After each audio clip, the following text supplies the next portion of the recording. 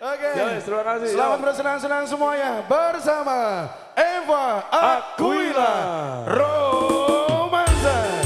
Yes. Cok, kendangnya langsung lebu loh ya. Kendangnya langsung lebu.